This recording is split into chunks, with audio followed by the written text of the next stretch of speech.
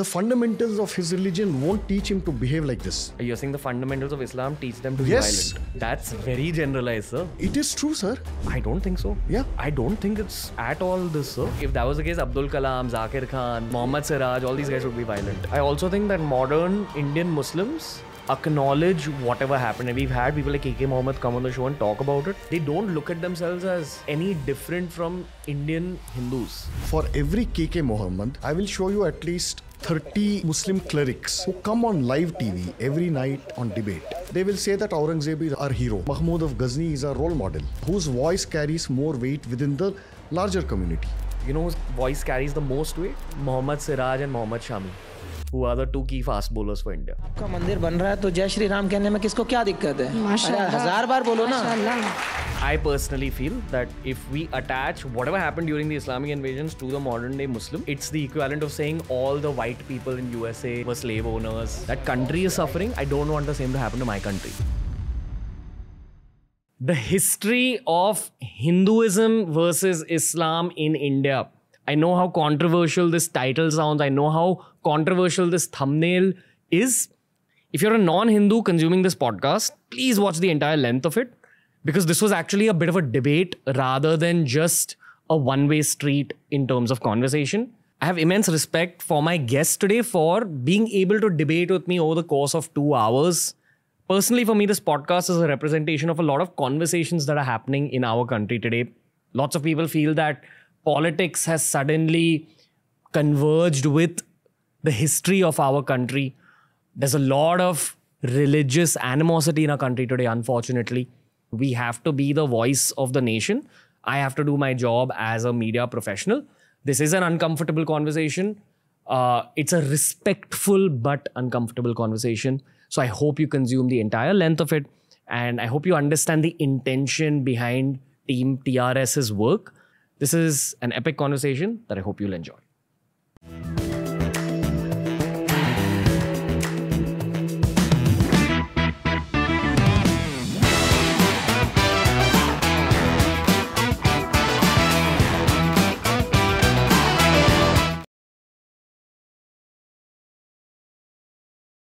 Another history deep dive on TRS, this time with Sandeep Balakrishna. How are you, sir?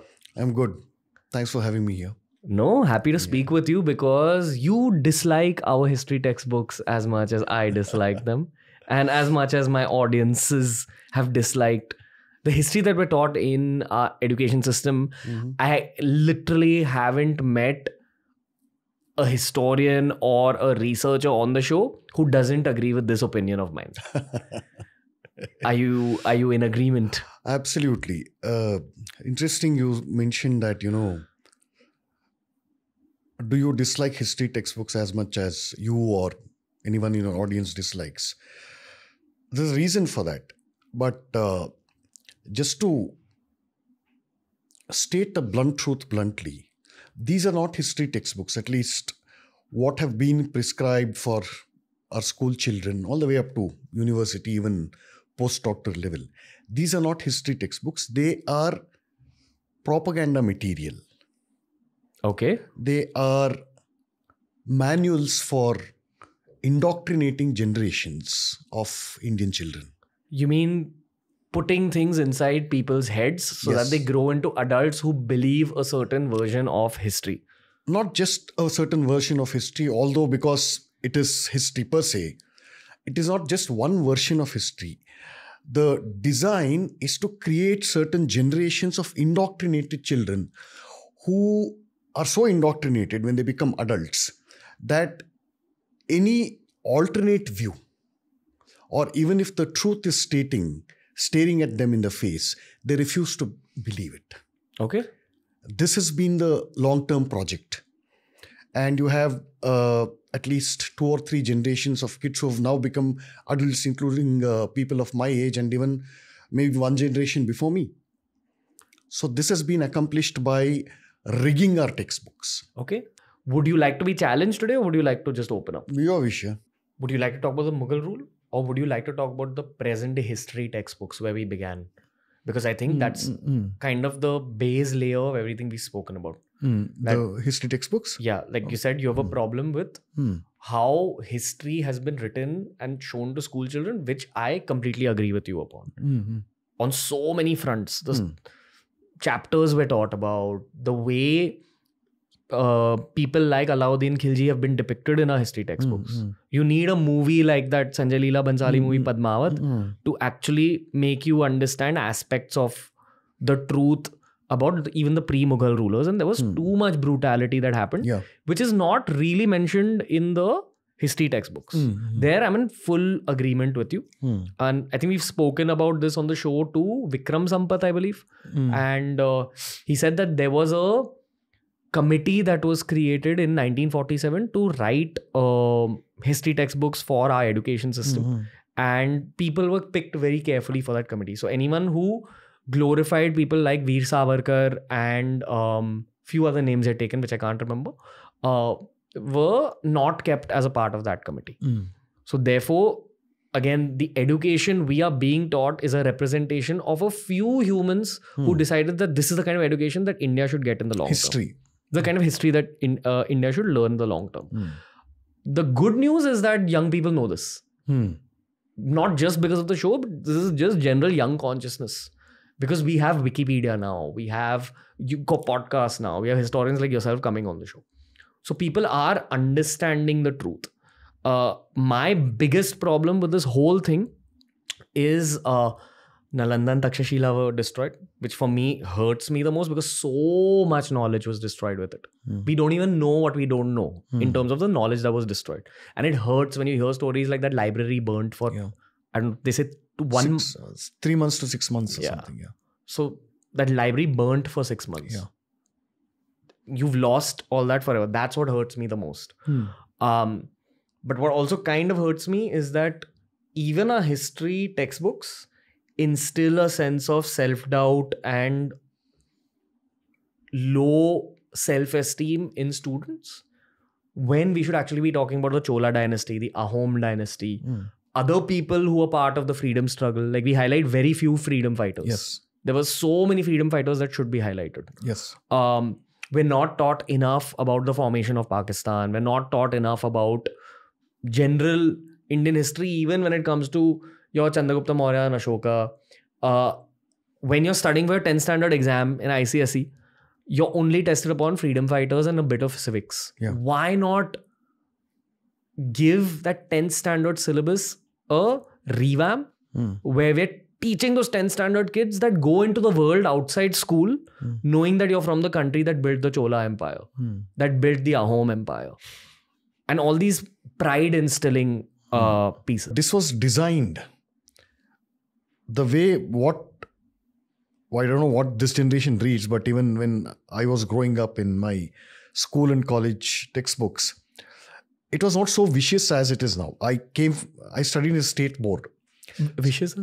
No, this distortion. Oh, okay. It's not so vicious.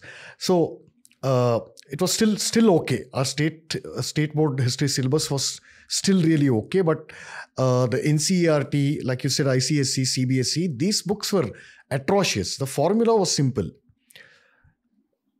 downplay or whitewash or distort the atrocities done during the Islamic period, and paint Hindus who resisted. They were all alien regimes, sir.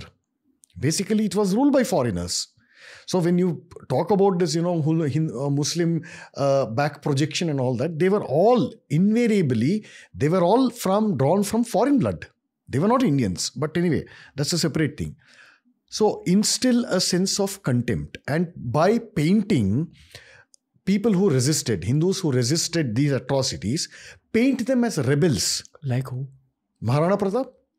You think he's painted as a rebel? Of course he was. Okay, I'll, I, again, I'll tell you what Maharana I know as a Pratap- Maharana 1993 is a rebel. born person. Wait. I don't look at him as a rebel, sir. And Ah. actually, I have pride that Maharana Pratap is from my Sure, land. but this is what uh, books, our textbooks have taught us. I don't think so. Yeah. No, no, no. Maharana Pratap was a rebel against Akbar.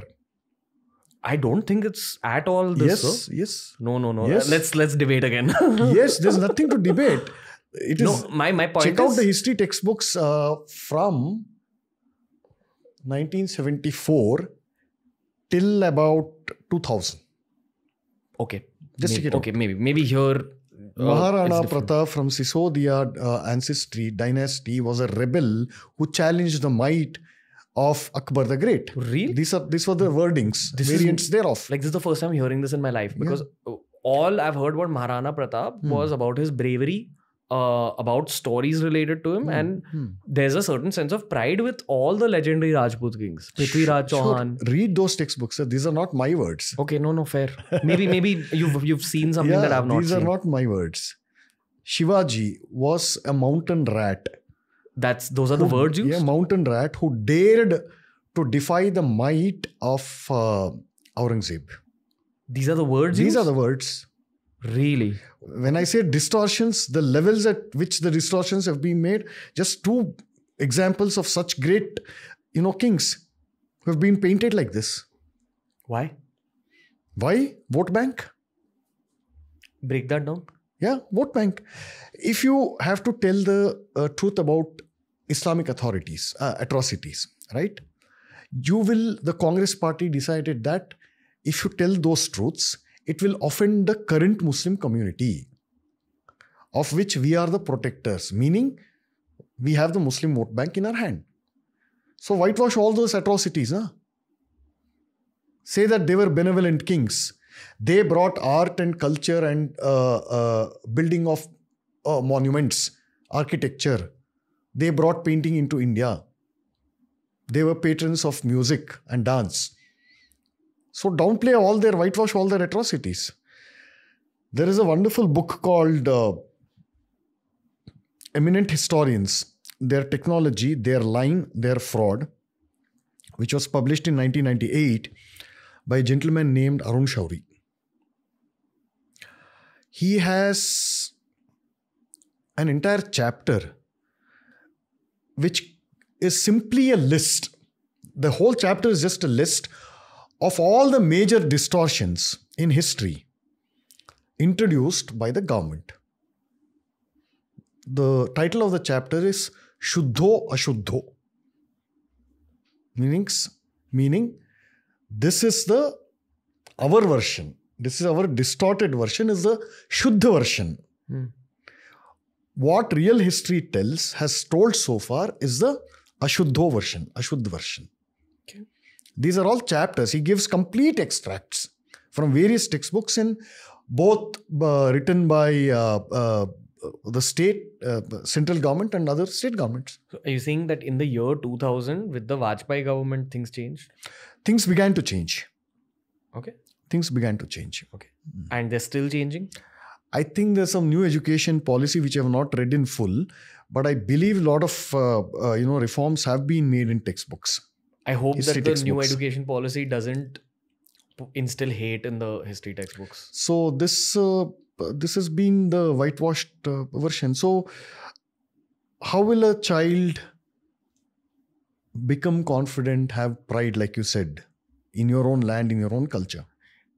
Very capitalistic answer here is I feel education has gone way beyond schools and colleges. Mhm. And Ronnie Screwvala told me this, who's running Upgrad. He said that now education is a lifelong process. Mhm. And a lot of education is based on self education, self, which is a representation of what you've done as well. So, Mhm. like, you've dedicated your life to history Mm. despite being like an IT professional. Mm.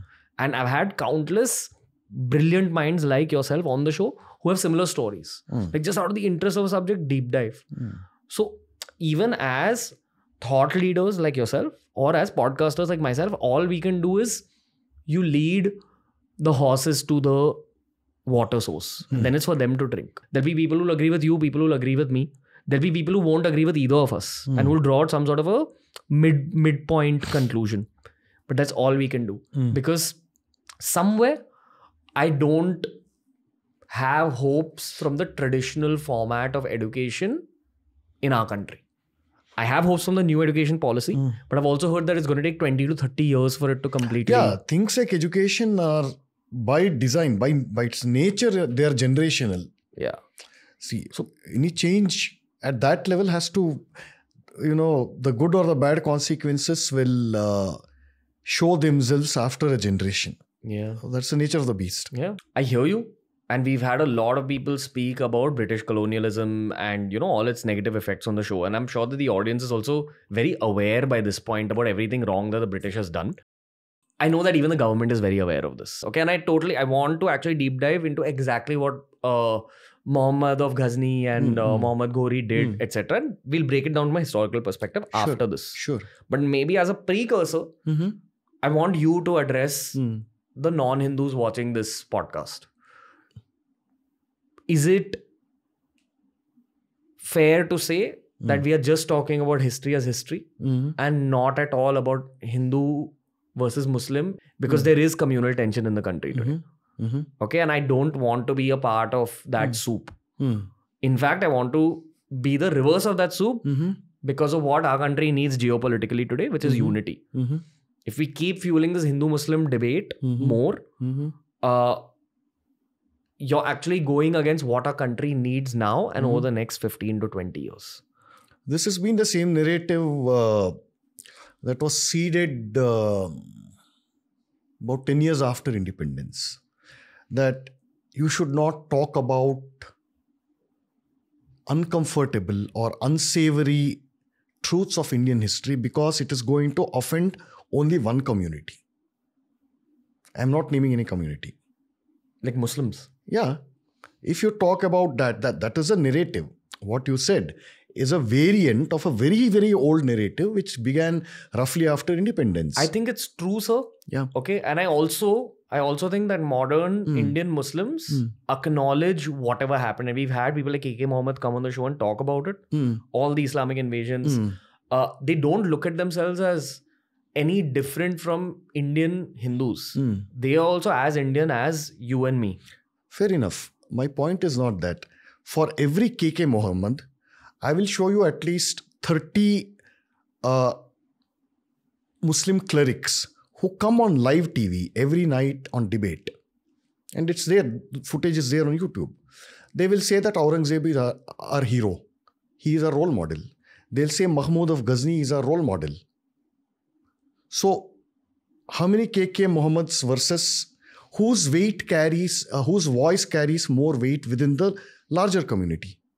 We're talking about the truths, right? Does KK Muhammad's voice carry weight? Does uh, the late Abdul Kalam uh, president's carry weight? Or does a preacher's voice carry weight? in my opinion, at least, see, I'm not Muslim. Hmm. This is based on all my Muslim friends, Hmm. all the conversations I have in urban centers, as well as a lot of the interior India parts that I visited. Okay. You know whose voice carries the most weight? Mm-hmm.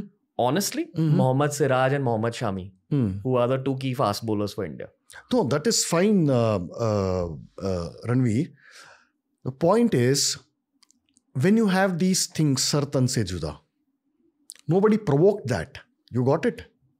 So you have any number of you know uh, video clips going around uh, where all these fellows basically openly give out threats, brandish swords, saying that uh, you know uh, threatening to cut off the neck of the Prime Minister of India. Which Hindus, you know, has made them speak like this? Nobody. Which brings us to the point of intent and basics. All right.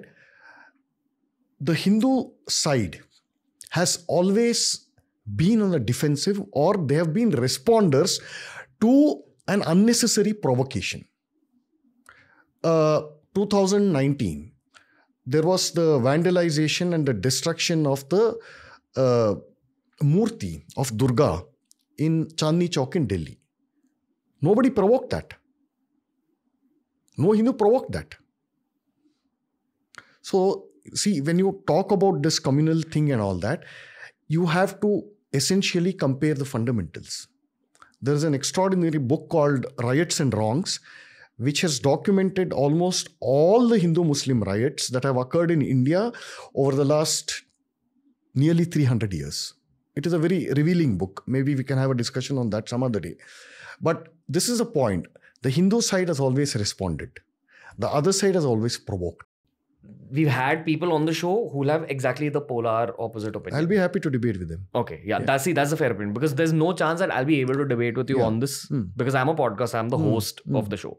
But maybe a fair argument about this whole Hindu Muslim thing is when Hmm. there is someone from the other side talking to you Hmm. and your scholarly material will be against his scholarly material. Certainly, we can But do that. from my standpoint, after doing like more than 500 podcasts, I don't completely agree with you because I've heard opinions from all sides. then I'll give you a reading list. Maybe we can expand on this discussion in next episode. Okay, okay, Yeah. cool, fair.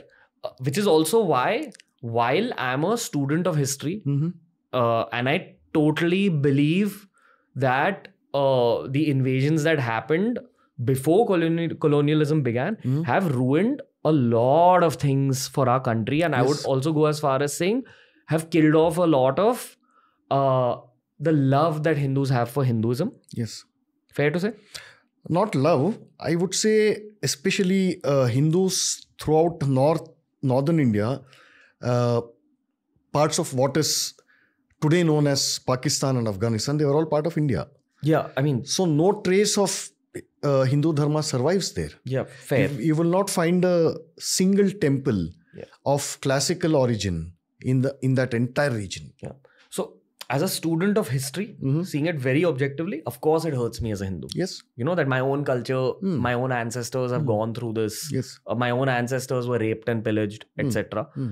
Uh, but I have to have social responsibility as a modern Hmm. media professional with this kind of a following. Hmm. So I always fear talking a little bit about the invasion side of things. yeah. Because Hmm. uh, so I mean, I think you know what we were talking about how you've dedicated 30 years to it. Hmm.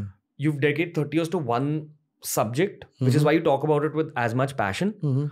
Uh, and I want to bring it out. Okay. But I do a lot of other subjects as well. Yes, I've watched some of your episodes. Yeah. So I see it from a political viewpoint. I mm, see it mm. from a geopolitical viewpoint where we Mm. have international viewers who'll get this impression of India. Hmm. Hmm. Uh, and honestly, the more you talk about Islamic invasions, whether we like it or not, it is going to fuel Hindu Muslim tension in this country. No, I won't. Uh, again, this falls in the realm of uh, uh, received opinion uh, because unless you don't understand history, if you don't know where you came from, you won't know where you're going. Okay. It's as simple as that. Okay. It's as simple as that. Okay. I mean, I'm speaking on behalf of all the conversations I've had with Mm, people mm, my age. mm, mm. Okay. mm. Uh, and uh, once again, I'll ask you the same question that before we move into actually breaking down the Islamic invasion, Sure. talk to the young Muslim watching this podcast. uh, it's simple. Ask this young Muslim to honestly read and understand the fundamentals of his own faith, unaided by, you know, preachers or anybody. Just as he would study a textbook, a physics textbook or something. You use your logical uh, faculty. Read the fundamentals of his faith. Okay, compare it with where it stands on the plane of rationality and logic and reasoning, then the truth will become evident to that Muslim. Okay. I don't agree with you here, but I will let you continue. As simple as that. Yeah. Okay. And I don't agree with you because I've not read the Quran myself. You should. Okay. Fair. You should. Fair. Yeah. Uh, and I don't know enough about Islam because I've not grown up in an Islamic family. I'm sure, N- neither have I uh, grown up in Islam. which is why I don't think you have the right to No, fully no, this comment is this on is a very old uh, uh, uh, debate. Which you know, this is a line which is uh, one of those uh, instruments used to prevent a logical scrutiny of Islam. This was the same line that the church and the Pope in medieval uh, Europe used to prevent a rational, critical scrutiny of the Bible, of the fundamentals of Christianity. Both these faiths are cut from the same cloth. Okay. Maybe. So the moment, the moment anybody critically scrutinized Christianity there, what was the result? Stonings, public beheadings, uh, what is known as witch burning, and uh, imprisoning. You know how Galileo was hounded? Why? If they, you know, they didn't go out with swords to kill those anybody. No, they simply questioned the rational and logical basis for both the Old Testament and New Testament, the foundations of Christianity. Look what happened. Okay. The world has become better for that. Okay, sir. All right. So, who are the people who did that? People from the same Christian religion. Okay. They questioned it. So, let the internal reform begin from this. I'll- I'll so, tell- each time Okay. each time when the argument comes up that non-muslims and non uh, non-christians uh, because they are non-muslims or non-christians they don't have a right to scrutinize uh, uh, you know the books of their the teachings of their religion but it is the same teachings which impel their followers to either convert or kill the followers of you know I- other I- other rel- I hear you. yeah And I have respect for hmm, the life that you have lived hmm. dedicating yourself to Hmm. studying. But if you and me, as Hindu men, comment on someone else's faith, mhm. it's the equivalent of a Jewish pers- person saying, Are Ramji told Sita to commit sati. No, no, Your whole it's religion. not this, no, no, it's it's not the same. Uh, I think it's the it's same. It's a false equivalence. Exactly. No, it's a false That's what equivalence. they I'll would say about you. No, no, no, no. Now, fine, I'll grant you that. Yeah. Their fundamentals tell us to abuse Ram and Sita in the vilest terms. Their fundamentals tell them, teach them, saying that an idol has to be broken because it is against, you know, whatever their god or whatever uh, other things they have. So, are you telling me that here is a question of my survival? Their books tell them to do this to me. And you are telling me that I shouldn't read, you know, my suffering is a result of those books. And you are telling me not to uh, uh, read them because as a, a, a non-Muslim or a non-Christian, you're not supposed to read it because you can't understand it, you're not qualified. It doesn't work like that, sir. I mean, see, I'll tell you what I feel. Mhm. I don't think that anyone should Mhm. completely rely Mm. on a book as Mhm. the complete compass for their life. Without book, both these religions don't exist. Kitab plays a central role in their faith. 100%. Yeah. But not all Muslims and Christians fully listen to the book because they understand the truth about modern society. This is, uh, yeah, to an extent, I'll grant this to a good extent to, you know, uh, uh, Christianity, but not Islam.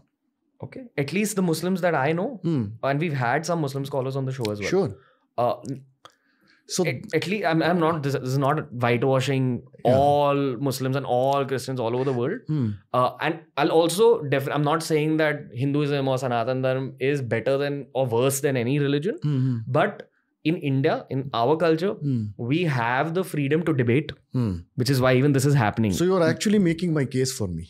yeah yeah no i, I 100% agree with you here that this is one beautiful thing about our hmm, ancient hmm, culture Hmm, that we are not given one book and told that this is how life is hmm, which is what allows us to expand a little bit. mhm, But in saying that, here the underlying argument is hmm, address a modern day Indian Muslim who Mhm. loves India as much as you and me, not all Islamic people all over the world, all over history. mhm, So I personally feel that um, again, whenever we have these Hindu versus Muslim conversations, Hmm, we are not being socially responsible hmm. based on the modern geopolitical truths that No, I don't India understand. Uh, you know, these these are very very uh, general terms. When you say socially responsible, things like that. When it the question is about your survival, all right.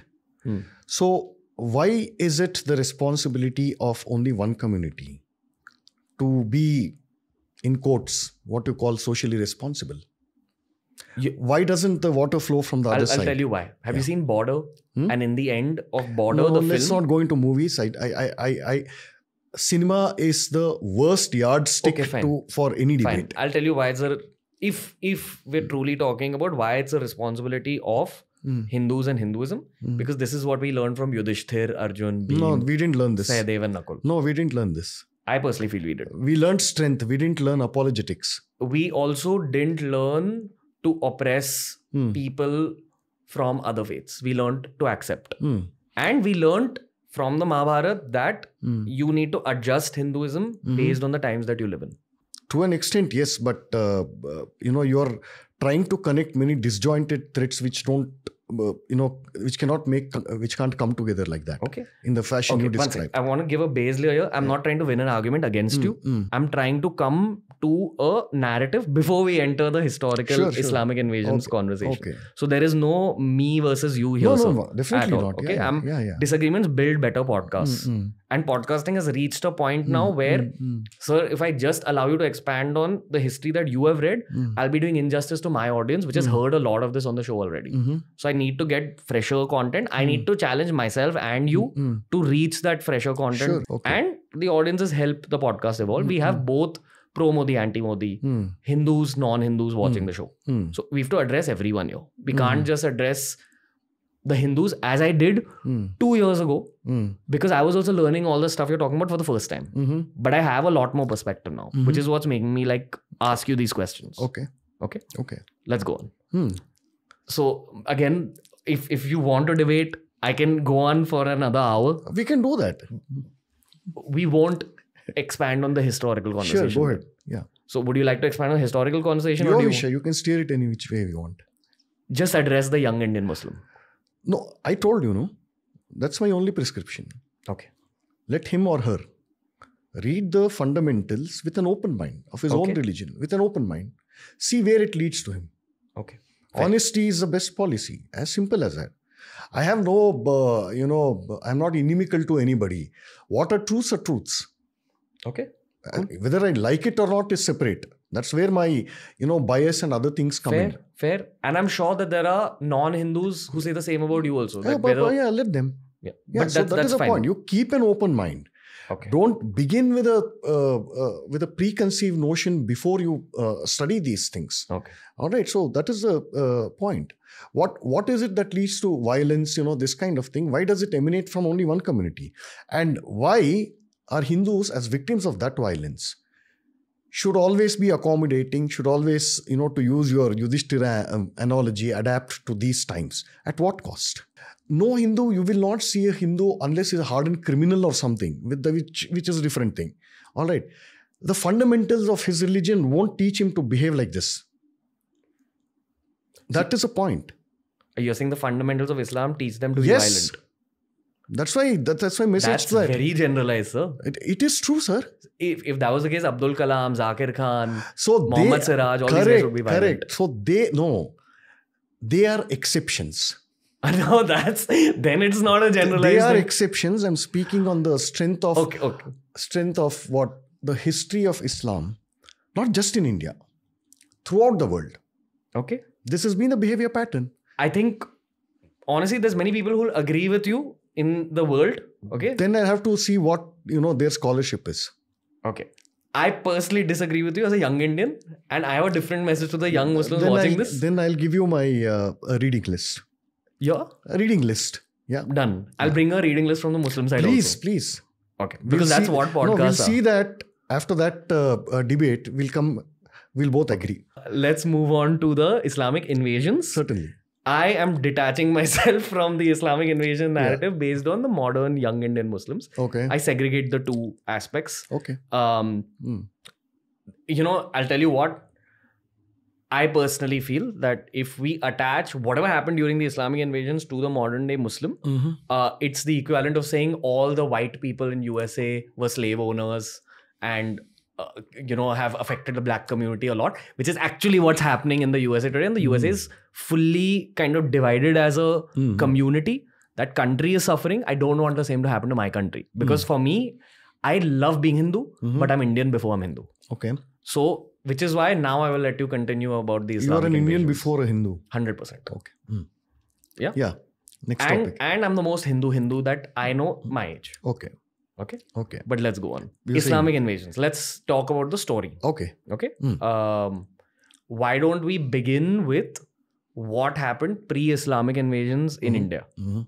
Like, in terms of what was uh, the landscape, the culture of all Indians at that point in the subcontinent. And by Hmm. subcontinent, I also mean Pakistan, I also mean Afghanistan. Why don't you draw out a cultural, historical, geographical map, as well as an economic map, Mhm. as well as a um, kind of blueprint about what went wrong that these invasions became successful. Mm-hmm. Because technically, the winners of war write history. Mhm. So we were the losers of war Mhm. in that period. If we lost war, there was something that went wrong on our side. Mm. It's like losing a cricket game and then you go back to say that, oh, between overs 20 and 30, we didn't do this. Okay. So highlight that also because it's important to study history from a, a psychological perspective so that history doesn't repeat itself. Sure. That's a lot of ground you have asked me to cover. Feel free wherever. So, b- broadly speaking, uh, India had had external invasions before uh, Islam. Uh, the earliest recorded is by Alexander. Then the Hunas came in, Huns, Shakas came in, Pahlavis came in. So, multiple uh, guys came, but they did not do significant damage. One. Two, they were all pre Islamic invasions, which means the faith called Islam had not yet been born in this world. okay. All right? Uh, same And, geographical and, area. and, and the Greek invasions began even before Christianity had begun, had taken root, even in the West. So they didn't do uh, significant damage to us. Due to various factors, we had extraordinary strong kingdoms, and the modes of travel, climate, weather, all those Hindu Kush mountains, and then the Karakoram Pass. It was very hostile territory. The Himalayas, even today, it is still our natural fortress. All right.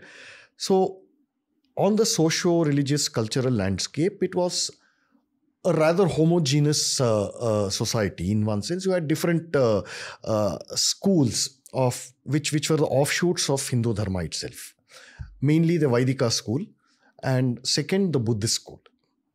And you know, much later you had other uh, uh, schools like Shakta, Shaiva, Vaishnava. Much later they came. So this was roughly the uh, socio-religious landscape. Now, on the economic landscape, India was the world's largest economy. Okay, second only to China. Sometimes the equations would change roughly here and there. Now, on the political side, we were characterized by, you know, sweeping empires under one king. It could be. It began with Chandragupta Maurya, and then followed by uh, Satavahanas, Guptas, all these uh, sweeping large empires as big as some 10 European countries. That was the size of one empire, ruled by one monarch. So, this was roughly the political uh, uh, thing.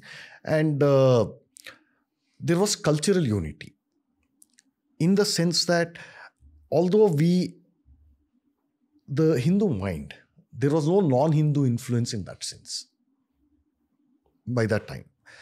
So the Hindu mind had always had a sense of India's geographical borders and they were united culturally, which is still the case today. Why would someone, uh, you're familiar with Panchang, right? Almanac, Hindu calendar. okay. So, what does it contain? It contains a list of you know various festivals, tithis, and you know everything. Let's take the case of Ganesh Chaturthi. You are in Bombay, so across India, this festival is celebrated different. Here, the importance is too much. So, you check out the Panchang, what it says on Ganesh Chaturthi. Where all it is, it is celebrated, not just in Maharashtra, but across India. All the famous Ganesha temples on this day, kaun sa utsav hoga and why it is done. So, this shows your cultural unity in the sense of both geography, space, and time. Time as festival, indicated by a day of the festival. Space in different parts of India. So, this was always there in our psyche, it is still there. So why should I go to a तीर्थ यात्रा इनसे उज्जैन क्यों मंदिर नहीं है बैंगलोर में है ना Hmm. why should I go to Ujjain or why should I go to uh, Rameshwaram or why should somebody staying in Jalandhar come all the way till Kanchipuram. Hmm. right? Why should the sari for Kamakhya Devi temple in Assam till date it goes from it is stitched in Kanchipuram? So which law which rule book tells you to do this which which created this system? The Purohit in uh, Pashupatinath temple in Nepal, he comes from South Canara in Karnataka. Hmm. Compulsory. So uh, if you next time you go there, you speak to him in Kannada, he'll reply to you in Kannada. So which system created this? What created this? So it is the, what is known as sadhana, tapasya. It is a long process of trial and error and you know a profound kind of evolution. So this was the cultural landscape back then. All right. Uh, political ho gaya, cultural ho gaya, economic ho gaya. Then uh, uh, what was the other thing? Some, something else you asked. Psychological. Psychological is uh, uh, I wouldn't use that word psychological, but this was how it was uh, roughly spread. Okay. What we also did was that I don't like to use this term, but since it is fashionable now, I'll use it. India was the greatest ex- exporter of culture. True. When our businessmen went out in caravans, they took Hindu culture with them. And wherever they went, they told stories from India, from Jataka stories, from Hitopadesha, from Panchatantra, from Ramayana, Mahabharata, Vishnu Purana, Bhagavatam. Wherever they went, uh, even in the Middle East, you see, you trace the history of folklore in Persia, Turkey, Middle East, you will find a Hindu element there.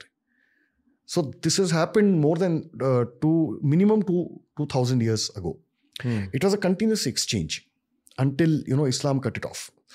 This, this used to be there and what is known today known as Southeast Asia. There the influence, it is an extension counter of Hindu culture, actually speaking. Hmm. What made this possible? Unless you have this kind of political power, which is also an enlightened political power, you don't need swords to go out and kill and conquer and then, you know, impose your culture. Two ways to do this. Right? One is, you know, chop off and then convert or, you know, forcibly impose your culture on an unwilling population.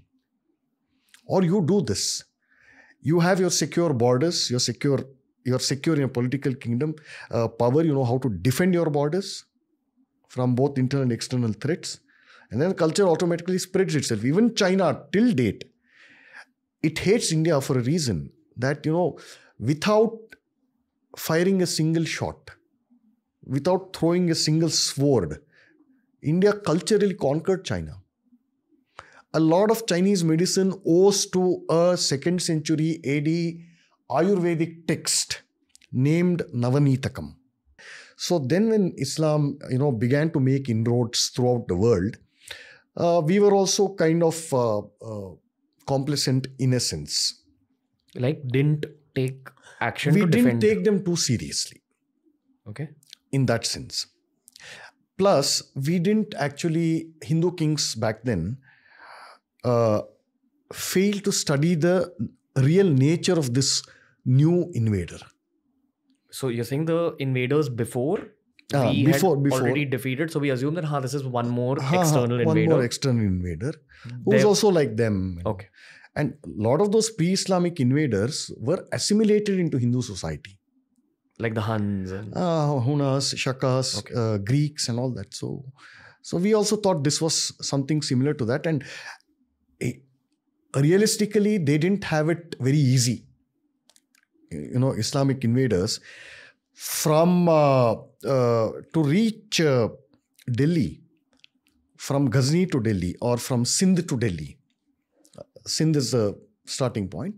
So when Qasim comes in, from Qasim's raid into Sindh in 17, 712 and he leaves in 715. From then to establishing a firm foothold in Delhi, it took about 320 years. Why? Because Hindus never gave up fighting. Hmm. They didn't have it easy, unlike you know in other parts of the world.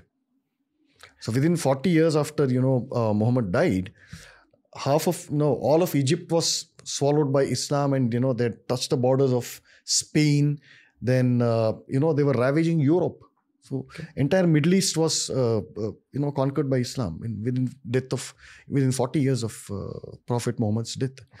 From Muhammad bin Qasim's uh, raid, maiden raid into uh, Sindh,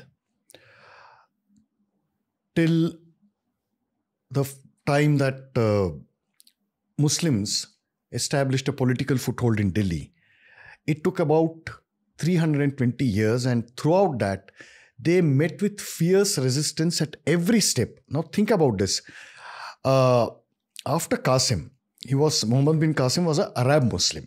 You'll also have to thoda give context on him. Who uh, Hmm. was he? Where did he come from? Okay. And roughly what year? Like Hmm, okay. So Qasim came into uh, India. He raided India in uh, 712 CE, and he was in India for about three years, less than three years. Then uh, he goes back to Iraq, Baghdad. m- modern day Iraq. Hmm, Baghdad. So Baghdad at that time was uh, one of the greatest centers or one of the greatest hubs of the rapidly uh, rising uh, Muslim political power in that belt, that region of the world. So it was also known as the global hub of uh, Islamic culture at that time. And it retained its uh, preeminence for about uh, uh, two or three centuries, after which Genghis Khan comes and then he completely devastates Baghdad. And later, Genghis Khan uh, still has, uh, uh, he arouses a lot of hatred even today in the Muslim world. At the time when, you know, they thought that Islam would take over the whole world, this fellow comes, short man, with a huge army of Mongols and devastates and pretty much decimates whatever uh, territories that Islam had conquered. And the Mongols go all the way up to Egypt also. That's another story. And his grandson, another uh, uh, Mongol named Hulagu Khan, he repeats the same thing two generations or three generations later. Sacks Baghdad. Sacks Baghdad again. In fact, uh, you know, the decimation is so brutal that there are graphic descriptions which I can't, you know, uh, repeat in this uh, uh, show. you can actually. I can. Okay, Yeah. fine. Uh, you know, the whole city is razed. Forts are burned down. Uh, men, women, children, infants, they are all. Uh, basically, what the Mongols do is that they gave the taste of what Islam had done to them in a much more ferocious manner. One second. When did Islam? Like when Genghis Khan and uh, Ch- Genghis Khan came around uh, uh, early 12th century. okay, Yeah. and then there was. Few battles that the Muslim world won against the Mongols. No, before that, before that, in Central Asia, Islam had touched all the way till Central Asia. Okay. So Afghanistan and Upar, that Chinese region, which is where you still find, you know, this uh, uh, Muslim Uyghur province in China. The Muslims are in substantial numbers. It dates back all this to this period. Anyway, so that's why I say we have to read history. Sure. to understand the present and future. Anyway, so that happens, and Qasim he's called back to Baghdad, and uh, you know pretty much uh, the regime changes there in Baghdad. Incidentally, Muhammad bin Qasim he's deputed to invade India by his uncle and father-in-law. Okay, uh, जो चाचा बोलते हैं ना, he's also his father-in-law. and he says, uh, you know, you have to invade Hind. I'm giving you a fleet of 6,000 boats, you know, warships, and, you know, go. Uh, that's how it begins. And uh, he goes back there, by, but by then, the regime has changed in Baghdad, and his uncle has been deposed and killed. Uh, and the hostile party, the person who was deposed, Al Hajjaj, that's uh, Qasim's uncle's name. He, that fellow is in power. So Qasim is recalled there. He is imprisoned. He's skinned alive and killed in a gruesome manner. So this kind of warfare, this kind of politics is unknown to India until that time. This kind of, you know, all out warfare where there are no rules but only victory at any cost. So uh, he goes back there. Between him and Mahmud of Ghazni, there is a gap of about two and a half centuries. So 715 is when uh, Qasim goes back to Baghdad, and 1000 CE is when Mahmud comes into India. He begins his first raid. Okay. So you see about two and a half centuries of gap. you know, parallelly, if we speak about what's happening in India at this time, or even if we kind of precede this period, roughly when was Ashoka and Chandragupta? Oh, this is way back, yeah. Ashoka, they lived uh, uh, BCE, what is known as BC, you know, before Christ. Okay. Now it's called BCE, meaning before Common Era. so I'm painting that whole phase Mhm. from Chandragupta and Ashoka Hmm. up till the point that we've reached in Up our till. Qasim is about uh, uh, about 1500 years. Wow. Okay. But in this whole 1500 year period, Hmm. um, you know, I mean, from those this whole Ashoka period, we hear about Kalinga War and how Hmm, that hmm. war was so brutal that it changed Ashoka's Hmm. uh, mindset and all. Hmm, hmm, Uh, we've had someone come on the show and say that no, actually, that anyway, that's a whole other conversation about just Ashoka. But in this whole 1500 year period, there were no civil wars in India or there weren't warring factions or anything. Okay. So when you say civil wars, it's a very good question, uh, uh, Randy. When you say civil war and fractional war or factional war, a civil war, what is a civil war? It is the breakdown of government. Right? Basically, a civil war is anarchy. Depending on the intensity, depending on the duration, it is basically anarchy. The degrees might vary. So, this is why the existence of a government is so vital in any civilization, right? When government breaks down or when the government is so weak that the citizens, you know, uh, they take the law into their own hands and say, look, we don't need you. That is when a civil war also happens, all right? Now, in the technical sense of the word, as we understand civil war as anarchy, it never existed in India, in Indian history. Really? Yes. Okay, okay, fine. In- Let's rewrite it call- as state versus state wars. Okay, so what you're talking about is this question comes from what is known as the modern democratic mind. State versus state. You are talking about a period of entirely composed of monarchies, of rulers, kings. Technically, in a democracy, there is no king, there is an elected representative, right? He's a first among equals, he becomes a PM and things like that. Now, for this mind to understand how a monarchy operates is very, very hard, if not impossible. Okay. See, I'll tell you where I'm getting with Yeah. this. We're talking about that Islamic invasion point. Hmm. My original question was how, what went wrong in India for those invasions to become successful over time? Because the narratives I've got on the show are Hmm. that it became a little you versus me even then. Mm-hmm. And this is with Abhijit Chavda, with a bunch of the other historians that we've spoken about. Mm, There was some lack of unity, say, between the Rajputs and uh, whoever was ruling in Madhya Pradesh Mm, or mm, Maharashtra mm. or the rest of the country. There was some lack of unity, possibly because of this whole narrative about uh, hard men build soft times, soft times build soft men, and soft men build hard times. Mm. So we're at that hard times point when we're talking about India getting invaded, which is preceded by soft men. Which Mm, no, no, no. I don't know where you're getting this from, but it like every historian on the show has said uh, no, no, it didn't uh, work quite like that. There are many reasons for this. Okay. Uh, I think I mentioned uh, about the complacency of Hindu kings. Yeah, so soft men. This is what I'm talking Not about. even soft men. So the man who was responsible for uh, allowing uh, Qasim to succeed was a Hindu king named uh, Raja Dahir. He was ruling uh, uh, uh, in uh, the Makran coast, which is Makran is now in Pakistan. Karachi. Ah, his his uh, capital was uh, a city named Debal. So this is where uh, uh, he entered. Uh, all the invasions prior to Qasim had taken place through the land route, through the mountain passes in Afghanistan, you know, all that. And they were easily beaten back. The terrain is so difficult, it is so tough. And you don't know, uh, the invaders didn't know the lay of the land, so to speak, then the weather and preparedness, a lot of things. So they were beaten back. Four or six invasions, uh, attempts like that were beaten back. So Hajjaj said, okay, let's try the sea route this time. And all the four invasions before that, Dahir had repulsed them.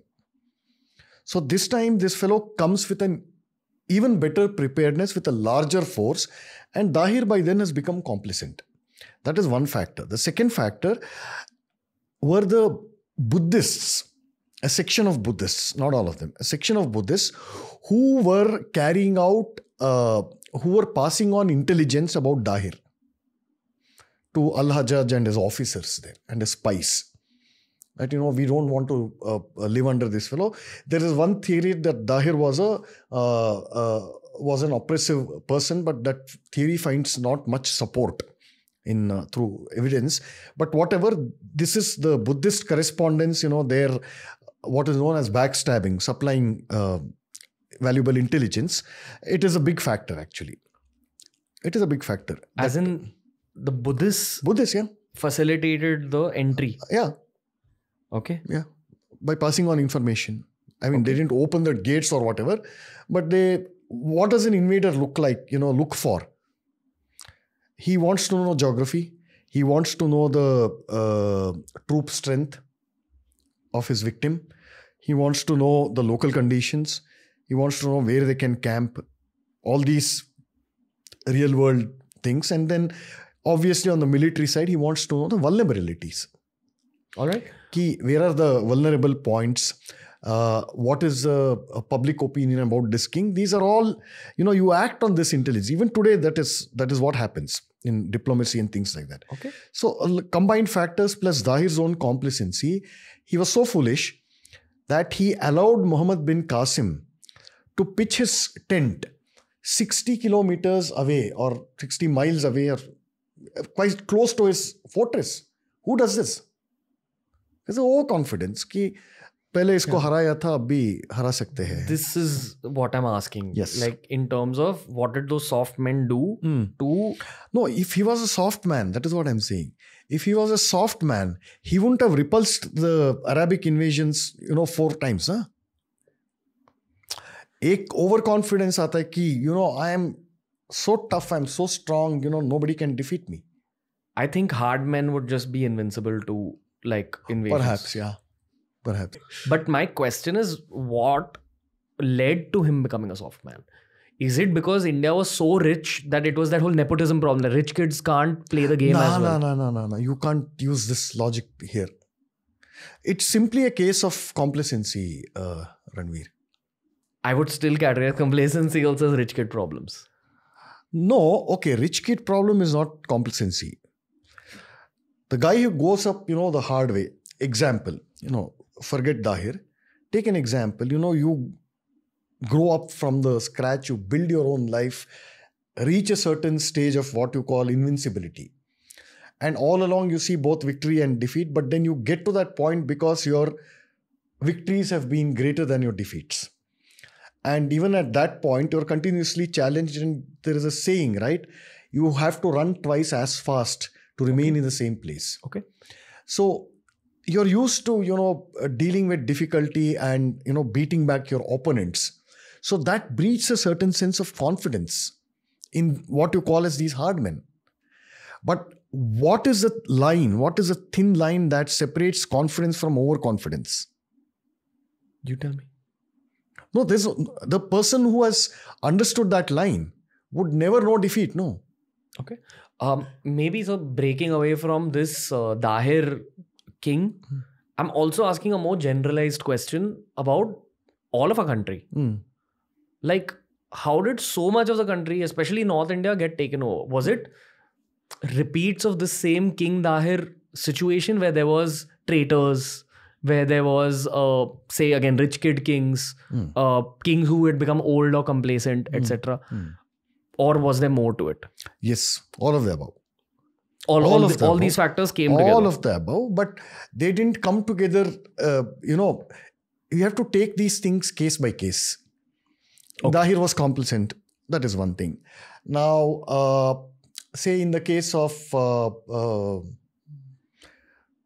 Mahmud's uh, raid of Somnath, right? It was a very prosperous and a very strong city, but it was unguarded.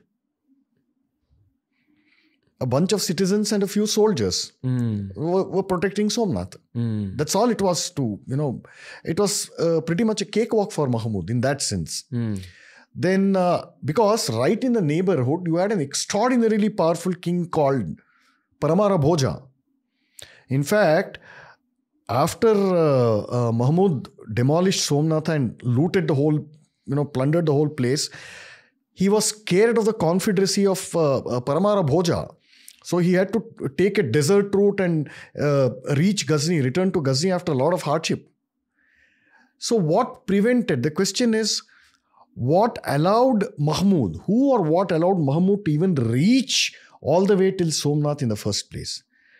Bhoja was, by any standard, by any measure, extremely uh, powerful king compared to Mahmud. Complacency, not for the lack of strength or will. Negligence. Yeah. Um, And in case of Muhammad uh, Ghori, a traitor, it was a uh, it was a victory of perfidy. okay. And then uh, uh, with a lot of other things, internal traitors, other Hindu kings, lack of unity in facing a common uh, alien enemy. So a lot of these factors, Yeah. like you said. Um, few things. One, I actually want to hear a little more details about Muhammad of Ghazni and Muhammad of Ghori separately. So we'll we'll cover those stories as well. Okay. Um, secondly, uh, the one thing I know about history is that it repeats itself. Yes. And I think the British knew that as well. They had someone telling them that, listen, this country has been invaded because divide and rule worked back then also. So you guys should just enhance that. I wouldn't quite put it that way, but uh, roughly speaking, in a sense, yes. Okay. Like uh, there was possibly a lack of unity back then. Hmm. If all those state kings or kings from different tribes, etc., etc., Regions. regions would have come together, Hmm. maybe we would have been able to put up a fight. Absolutely. Okay. No, individual kings put up fight together. So there is, ju- you know, the clearest way to uh, explain this. There is a, there are two terms in our languages. एक है राष्ट्र right दूसरा है देशा राष्ट्र is what is India whole of India as one indivisible political, social, cultural unit. Okay, that is Rashtra. Rashtra is this indivisible political, cultural unit called India. There is Desha, for example, Maratha Desha, Karnataka Desha, which is today's Karnataka, Gurjar Desha, which is Gujarat. So Kalinga Desha, Odisha, parts of that, Vanga Desha, Anga, like that. So these are regions which were also political dominions within the larger Rashtra, Empire. em- not an empire, country, nation. Okay. India as a nation. These are all regions which have independent kings ruling, you know, some parts of it. What's uniting them? Absolute uh, uh, monarchical control. And so, you know, uh, wars are fought between them for uh, expanding the boundaries of each their respective desha. And uh, so we never lost sight of that. But what happened over the period is what I call the loss of the Aryavarta consciousness. Do you think that's what united all these guys? Which one? The Aryavarta, Aryavarta consciousness. Yes, yes. Is what kept everyone together. kept everyone together. So they would not interfere. They recognize the suzerainty of the other king. Okay, say you are you are a Chola monarch. All right, I'm a Chalukya monarch. We have clear boundaries. And the only time we go to war is when you encroach my boundaries or vice versa. Okay, or there is some kind of a skirmish and you know the king has to intervene. Or the other way is to declare a Digvijaya, a war of expansion, territorial conquest. As in, there were rules related to war. Complete, yeah, yeah, hard, yeah, very codified, very uh, logical, codified rules Which- related. All of what we would term as Akhand Bharat today followed back then. Hmm. Everyone had rules They- related they to had, war, yeah. and there was a code of conduct. There was a code of conduct. Now, here is a another data point uh, uh, that will help you, uh, you know, understand this much better. Now, you had different political kingdoms, uh, entities, uh, Chola and say Pallava, within the same geographical unit. All right.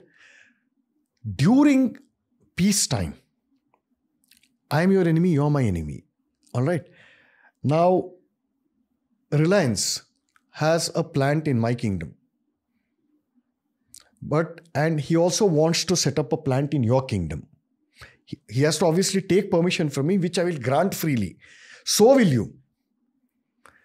The rivalry is purely political between you and me, between our armies, not the rest of the society. Not the people, uh, you know, who follow different sects, not the businessmen who want to carry on trade and establish factories and things like that. The war is enmity is only between you and me. It is political. These are some of the, when you think about it, it's made for a lot of political stability. Although you had, you know, these separate kingdoms, but overall there was stability in society, culture, things like that. Now, I'll take one another random example. There's one businessman called Kunja Nambi Shetty. He was uh, basically he, his native was somewhere in Kerala, and he had business. Uh, he was running a mobile business, not mobile phone, but caravan type of business, uh, dealing in precious metals and uh, uh, gems and uh, pearls, things like that. So he had extensive shopping outlets, uh, establishments, basically in the Hoysala kingdom, in the Sevuna kingdom or uh, Yadava kingdom, which is in Devagiri, Daulatabad, there with that kingdom, with the uh, uh, Pandya kingdom. So three or four kingdoms, he had free passage. And all the kings out there, they treated him as an honored guest because he contributed to their economy. God let's go back to the let's go back to that. So this is the uh, sorry just digress no, no, chill, like chill, that. chill. so this was the uh, uh, state of the thing. But the moment they lost this aryavarta consciousness and began squabbling with each other for no reason for very silly reasons as you know water sharing or uh, some some farmer some zamindar he set off his cows to graze into the enemy land इसके लिए तो lot lot of you know petty reasons they began to fight with each other hmm. and uh, this factor of revenge कि मेरे बाप को इसने मारा इसके बेटे को मैं मारूंगा hmm. so many wars were fought just like that rich kid problems rich kid problems so this kind of nonsense kept on then over the period they lost sight of this uh, aryavarta consciousness unity unity so they lost sight of this second was the disappearance of what I call, you know, this Samrat or Chakravarti. So, Chandragupta Maurya, he was the first Chakravarti in that sense. And uh, all the way up to the Gupta dynasty. The end of Gupta dynasty pretty much finished it off. That changed our history. It made India vulnerable to that extent. And uh, with the fall of Harshavardhana, of Kanyakubja, Kanauj, that put an end to this concept of samrat like a man who single-handedly rules. With that you had these independent all the vassals under harshavardhana all the vassals began to declare independence. And then they began to you know uh, fight with each other to expand their kingdom or all kinds of reasons. Can we take a small pause from history? Yeah. Because it's the nature of the show. Yes. And uh, again our viewers and listeners as much as i understand them are very modern, mm, um, kind of in this whole polymath zone, which is hmm. why I'm breaking away from history, and hmm. history will still be the focus of our conversation. But this whole debate we were having before about like Hindu Muslim unity, I was having it because of this reason. That whatever we're talking I'm about coming to that. has I, I'll just put my point across. Uh, it'll lead to that. Yeah. Like this is a version, like what we are talking about is breakage of Aryavarta consciousness is a mm-hmm. version of what is kind of happening today with the country, where the country is becoming fragmented based on religious lines. Mhm. Because I don't think Hmm. that um, there is any difference between me as an Indian Hindu Mm. in this country and an Indian Muslim Mm. friend of mine who's grown up in a similar societal structure. So I, I was born and raised in Wadala, Mumbai. Mm. I have Muslims who were born and raised there. Mm. Thought process is similar, love for India is similar. And history repeats itself. Mm. So if history is truly to repeat itself, Mm. we are on the brink of another invasion, Mm. perhaps this time not by another religion, Mm-hmm. Perhaps this time by another country. Mm-hmm. Perhaps this time by another psychology. Mm-hmm. Perhaps this time by something like another ideology, which is what's happened in America. That country is being broken down because of a lack of unity. I just don't want that to happen in my country, which is why I want to promote Hindu Muslim unity a lot hmm. in the modern day. Hmm. Uh, fair to say? fair to say, except that uh, the foundation of unity should be based on an acceptance of the past and a reconciliation and a kind of promise to see that we don't go back to those days. As in, you, you're saying the It has to be it has to be on the foundation of honesty. The best example for this you can see in Germany. Okay. Where throughout Europe, and I think if I'm not mistaken, even in America, generally in the West, denying the Holocaust is a criminal offense. And Germany itself has erected several monuments that narrates the complete gory details of the targeted genocide of Jews for the simple reason that they were Jews.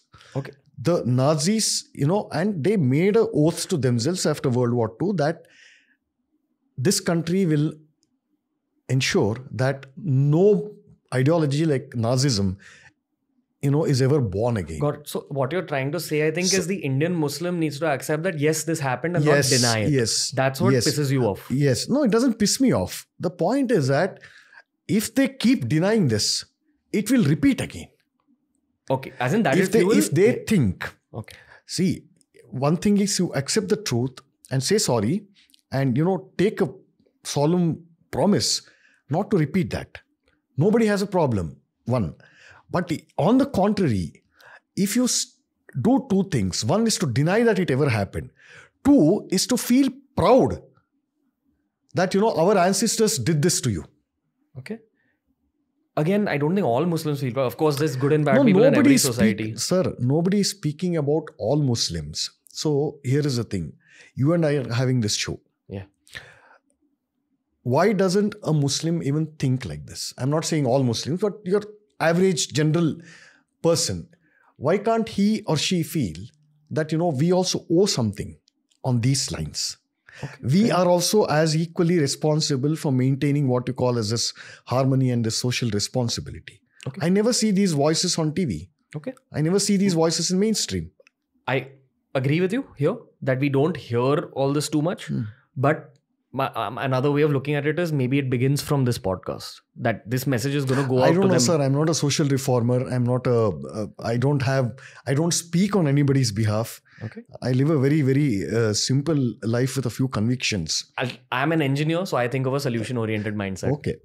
Like Yeah, rather so, than just like leaving it as It is. It tension. is. It is. Uh, it's very dangerous to speak on uh, uh, the behalf of other people.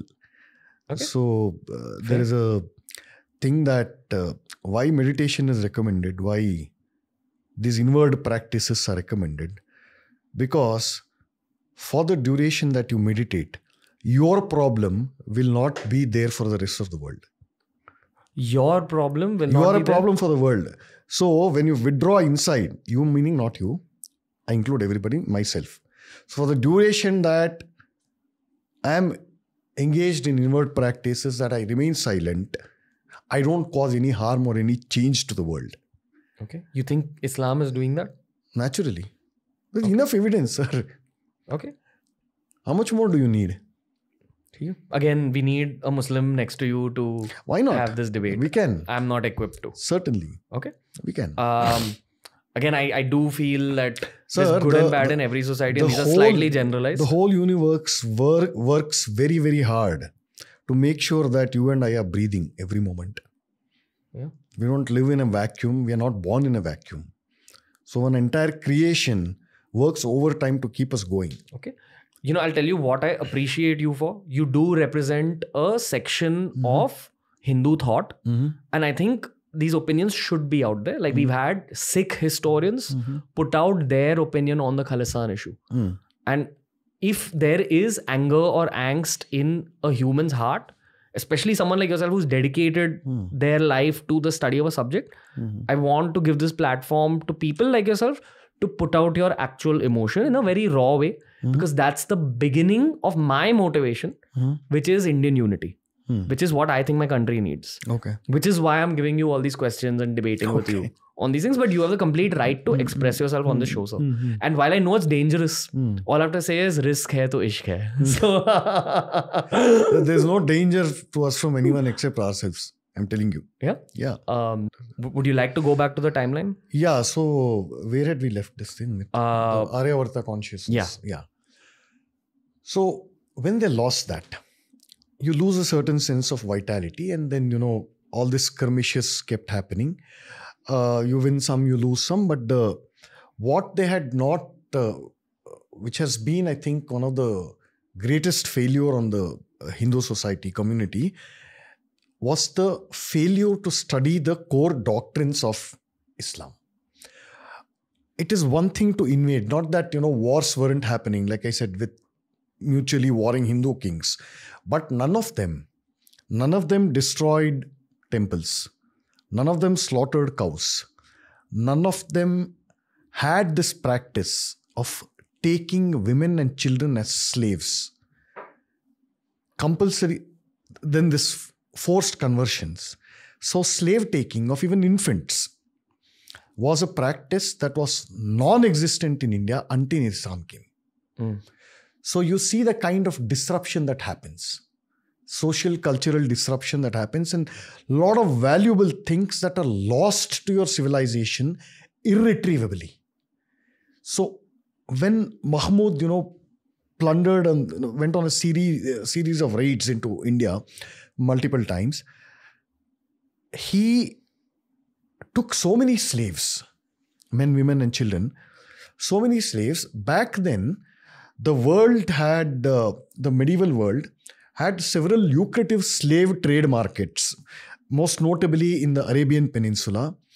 In uh, Cairo was a big slave market. I think one of the cities in uh, Spain or Belgium that that had a that belt that was a very flourishing uh, uh, slave trade market. Turkey was a huge slave trade market, and later Lahore was also one of the world's largest slave trade markets continuously for about 400 years. Damn. What's the All period? right? Yeah. Like for Uh, 400 years, let's say roughly starting from why 400, even 600 years actually. Till uh, uh, till till Aurangzeb's time, or at least till Shah Jahan's time, predated by 500 years or so. 500, 600 years. and like the slaves would be Lahore. sourced from all of India. all of India. Every war in which uh, a Muslim king, a Muslim raider or conqueror became successful would be accompanied by industrial scale slave taking. Men, able bodied men, women, and children, including infants. Okay, and they would be transferred. So, when Mahmud took so many slaves, he got letters from uh, merchants, slave merchants in uh, from Baghdad, for example. They wrote to him saying that, look, you're single-handedly destroying the market here with your oversupply of slaves from Hindustan. That is when you know Mahmud said, okay, fine, I won't send any more slaves. So who were these slaves? Imagine somebody the CEO of, say, one of the Tata group of companies. Imagine his wealth, his net worth, his lifestyle, his status in the society. Imagine him being bound and fettered in chains and being slow, uh, sold as a commodity in a market. Yeah. I'd, I'd also This- recommend this is a everyone disruption. watch a movie called 12 Years a Slave. Have you seen this? Yes, yes. It's such a psychologically challenging movie. Very disturbing. You understand the Yeah. brutal truths about slavery Yeah. as well as the brutal truths about human trafficking, which unfortunately happen even today. Even today it happens. Yeah. But not on the scale. See, slavery was legal back then. In all in both the in both Europe and the Islamic world, it was legal. Okay. Even in America, which is why civil war happened. So anyway, now this disruption, this kind of thing never happened in wars between two Hindu kings. God. Only soldiers would fight. And they had uh, well defined rules, a code of honor, a code of war ethics, in which women, children cannot be used as shields. They cannot be used as bait in order to, you know, stop the enemy. You cannot kill cows. You cannot kill uh, farmers, like, you know, non combatants all the UN Charter of War and all that thing is some international consensus. All these were there in existence from five, six thousand years here. Okay. Let's let's talk about the Okay. timeline. So uh, this happened, and this was a new warfare. Which and and think of the disruption that has occurred. In one way, now prior to these Islamic invasions, none of the alien invaders who had come had engaged in this kind of behavior. So this was completely new. The destruction, disruption, slave taking, all these things, right? That fundamentally altered our society and the course of our history. And yes, you know, the factors are there disunity among uh, Hindu kings. This, I think that we have covered that ground already. And uh, yeah, so as the weakening the uh, of the Aryavarta consciousness, eventually you lose it, then uh, it is as good as a free for all, which is also pay, which also paved the way for uh, the long lasting Mughal rule. Okay. Yeah. You know what I will say though? I think my generation, at least I would like to believe this, we are the Virat Kohli generation. Which is a little bolder, a little more aggressive, a little more with a chase for that ultimate Hmm. excellence and perfection. And that's not to say that your generation is not. Hmm. It's just that we've been brought up with information around us, Mhm. uh, which leads to many psychological problems. Hmm. Overthinking is just the base level of it. What you said, lack of patience, lack of commitment, all that's there. But my hope is that all you and me can do for future Indians is talk, debate, put out the truth, uh, and do our role. You know, we've dedicated our life to studying. You've studied in your own way, I've studied in my own way. All we can do is talk. Mhm. I don't think we should be even relying on the government to change certain things about education. Yeah, sure. I mean, Like it's just the responsible thing to do. I guess so. I don't know. Yeah. Uh, one request I have of you is I think you should go on more podcasts. Mm, I, With- okay, if I have time, yeah. Yeah. We'll see. Uh, I appreciate your time, sir. Today. Thank you. I think we're almost at the end of this conversation. Trust Okay. me, I've never Hmm. had anyone on the show who's so easy to speak to and break down things, especially when there are conflicting opinions. People Hmm. usually bring their ego into play. People bring, you know, their sense of what they've studied. So you've gained my respect, my team's respect, but also the Hmm. audience's respect. Uh, there are some things you and me on a very fundamental level disagree on, Mhm. which is the beauty of this conversation. Okay. So I appreciate your time. Thank you. I invite Thanks you back on the show, me. sir. Sure. Um, at some point, I hope like we can do this again at We'll some do that. point in the future. Definitely. Uh, again, lots of respect for the work and hours and years you've put into your subject. Mhm. lot of respect for you to come down here and talk to a 30 year old about the subject that you've given Hmm. My entire lifespan. So lots of respect, and you've earned Thank a lot you. of respect from Thank the you. audience also. Thank you. Thanks Lots so much for sir. inviting me. I hope uh, it was fun for you. It was level. very engaging. Thank you. okay. Yes. Lots of love, sir. See you soon. See you. So that was the conversation for today. What I will request of you guys, especially if this conversation appealed to you, is to be slightly active on social media about TRS, especially when people pick up snippets and then use it to frame either Sandeep sir or myself. I hope that the regular listeners of the show, the regular supporters of the show, go on those comment sections, go on social media, and talk about this lengthy conversation. That's the issue with social media. People usually end up picking up just one sentence or two sentences from an elaborate conversation and then projecting it as an out of context opinion there's a lot of context required for these kind of conversations so i'm really hoping that we get some support from the trs community. Please tell me what you thought of this slightly fiery episode. I'll definitely bring sandeep sir back on the show possibly to debate about other topics. I just wanted to show the audiences an aspect of the kind of conversation we have in urban India today. These are very important conversations for the future of our country, and I hope that you keep supporting TRS, whether you're Hindu, whether you're Muslim, whether you're Christian, whether you're Buddhist, whether you're Jain, whether you're Sikh. just remember, you're Indian first and foremost, at least according to me. Lots of love to you guys. See you in three days.